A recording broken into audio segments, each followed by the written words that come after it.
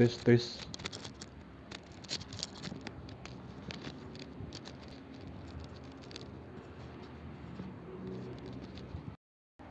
halo guys. Assalamualaikum warahmatullahi wabarakatuh guys. Kembali lagi di Almikyo channel. Oke.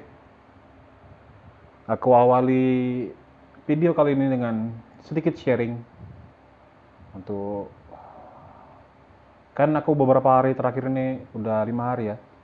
Lima hari sejak video terakhir aku udah nggak pernah upload. Karena kebiasaannya tuh kalau nggak dua hari sekali sehari sekali aku upload. Ya kemarin aku hari Sabtu. Sabtu pagi tanggal ini tanggal berapa? Pokoknya Sabtu kemarin lah.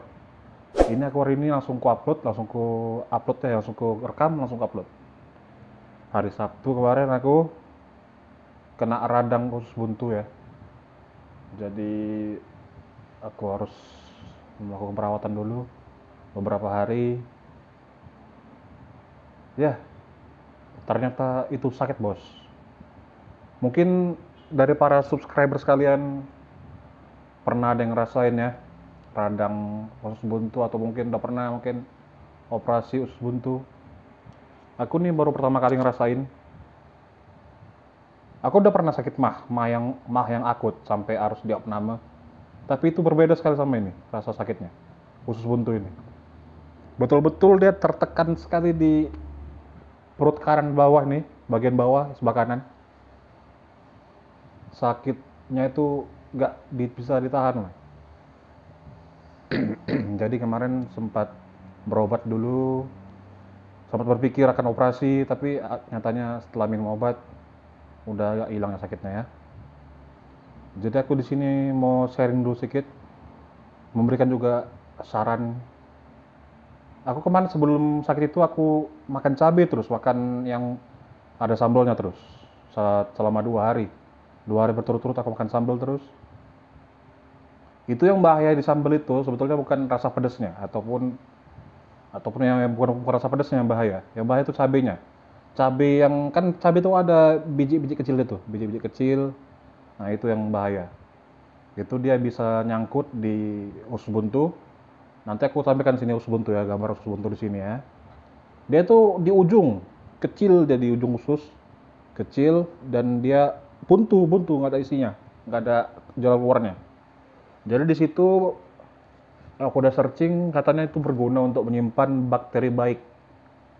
Tapi ketika kita makan yang ada biji-biji kecilnya seperti tadi cabai ataupun yang lain-lain macam-macam eh, jambu biji ataupun kacang-kacangan yang kecil-kecil itu yang kita kunyah tapi nggak hancur nggak hancur nggak bisa yang nggak kita yang nggak hancur dari mulut kita itu sampai ke, ke lambung nggak hancur juga lalu di usus itu dia tersangkut di usus buntu nah, itu dia yang membuat dia bisa peradangan usus buntunya ada yang bilang usus buntu tuh gak berguna karena memang ya cuma kecil deh kantong kecil bentuknya. Jadi ya banyak orang yang langsung mengoperasinya dipotong langsung biar tidak ada terjadi peradangan di situ. Jadi aku kemarin nggak sampai operasi ya cuma di itu aja. Pakai obat anti nyeri aja anti nyeri sama obat antibiotik. Jadi selama beberapa beberapa hari ini aku minum obat terus jadi nggak sempat record nggak sempat ngasih apa upload video karena kurang konsen jadinya kok udah kayak gitu ya. Udah akhirnya aku pada hari ini udah lumayan udah lumayan enak perutnya. Udah bisa lah makan makan itu jadi untuk kawan-kawan sekalian yang nonton video ini kok memang suka pedas usahakan makan cabai itu cabainya yang udah halus. Makan sambal maksudnya sambal yang udah halus gak ada lagi biji-biji kecilnya. Biji-biji kecilnya tuh bisa disingkirkan disingkirkan. Biar tidak dia tidak tersangkut di usus buntu. Jika memang belum pernah kena usus buntu ya kalau punya udah pernah kena mungkin udah tahu rasanya kayak mana mungkin udah pernah operasi jadi udah udah tau lah kayak mana pengalamannya. Dan juga jamu biji itu juga harus dihindari biji-bijinya makan jambunya jangan luar-luar tuh jadi biji-biji kecilnya tuh jangan dimakan lah walaupun kata orang ada yang bilangnya itu enak itu aja ya jadi aku nge-share pengalaman di sini. Terima kasih yang udah mau- mendengar. Dan kita lanjut saja ke langsung ke videonya. Aku main on Mioji, tapi tadi tidak tidak pakai facecam. Aku hanya merecord matchku saja. Dan aku pakai Obozu. Oke. Selamat nonton.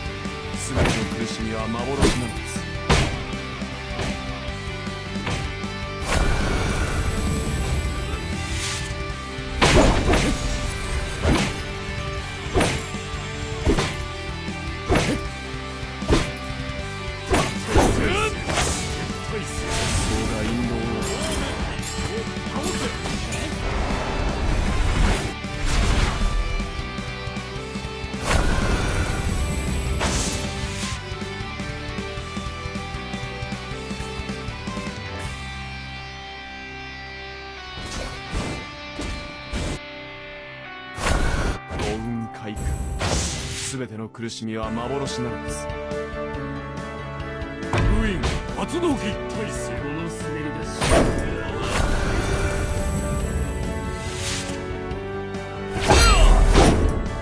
封印総国の断り。仲間がやられました。節操が引導を渡しましょう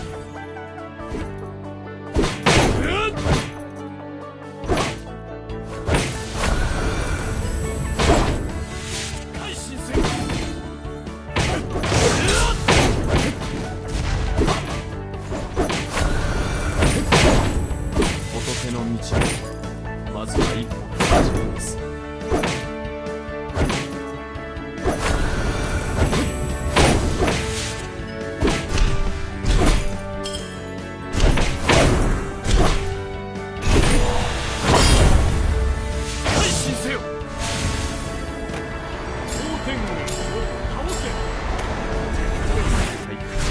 妖刀姫を倒せ絶対せよ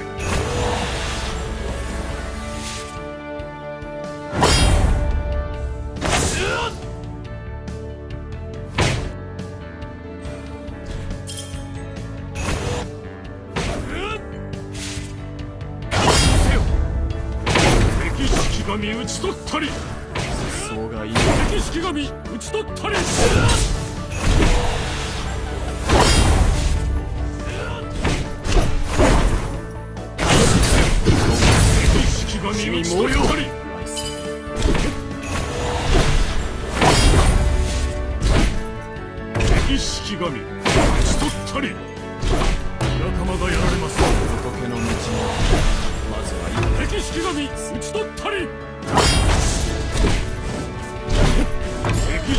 神討ち取ったり敵式神討ち取ったり。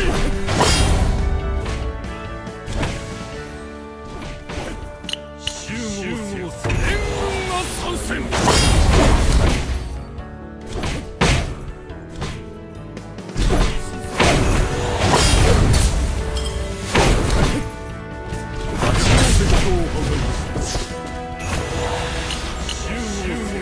歴史が打ち取ったり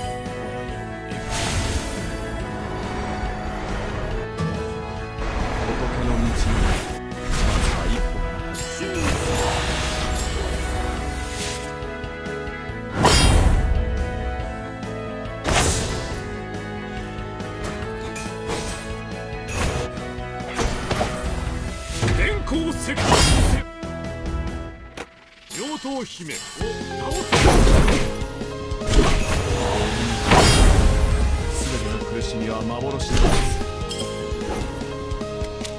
獅子軍人。敵神討ち取ったり敵の赤道を破壊した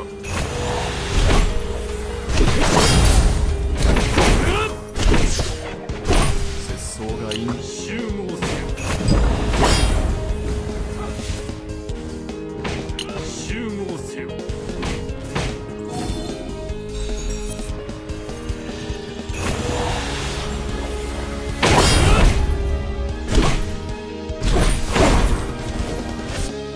式神討ち取ったり。